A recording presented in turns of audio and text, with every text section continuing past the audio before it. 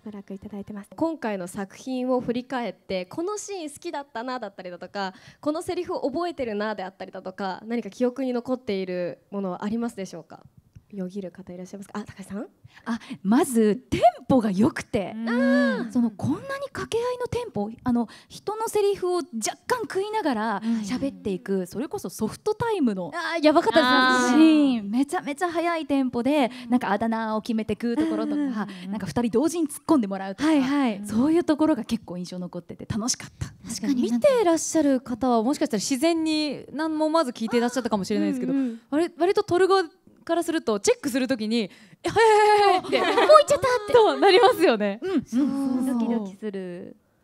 あの先ほどお話にもありましたけども5人揃ってそもそも収録はなかったんですよね、はい。よかったです。なくてバラバラ本当にまず私と会社と抱っこと妹そう抱っこと妹が二人で。撮ってその後にああああすねてます一人でした。だから全然バラバラでしたし、そのなんだろうアフレコ段階ではまだその完成してなかったから、あのシーンがなんかどういう風になるのかっええてちゃんと分かってなかったんですけど、本当見てお気持ちいいと思って、はいびっくりしました。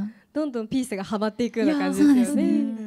北さんいかがですか？お気に入りのシーンだったりえー、で覚えてるももう私あのー作中の水の表現がめちゃくちゃ綺麗ですごいなんかなんだろうこの上をボートで進んだら気持ちいいだろうなっていうのがすごく伝わってきてうわーいいなってなんかこう CG アニメーションって聞いた時あ CG アニメなんだなうんって思ったんですけどあなんかこの CG の良さとアニメの良さがこう合わさってる作品になってるなっていうのをすごく思いましたねボートのシーンでは特に。いや本当気持ちよさそうな水ですよね。うん。なんか乗ってみたいですしすっきりするような。